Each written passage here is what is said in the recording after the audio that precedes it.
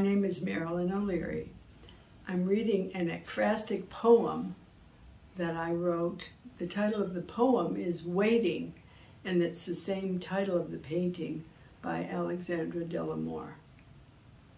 Five riders in a row on horseback, green helmets measuring the air.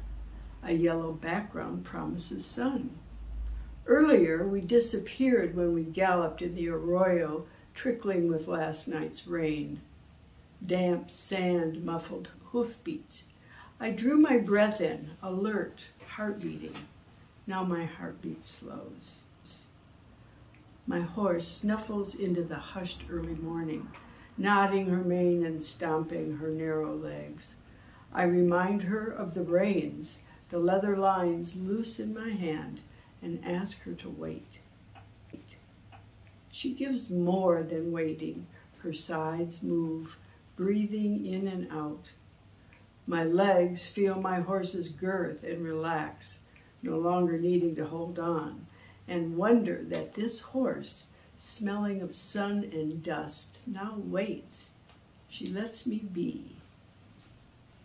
Breath that caught in my throat as I mounted my horse in the dawn now is easy, calm. I am in my body. Purple blossoms of Mormon tea and miles of sage, smelling of gray green, seem to breathe with one breath. We sit and wait until the sun begins to show itself over the mountains.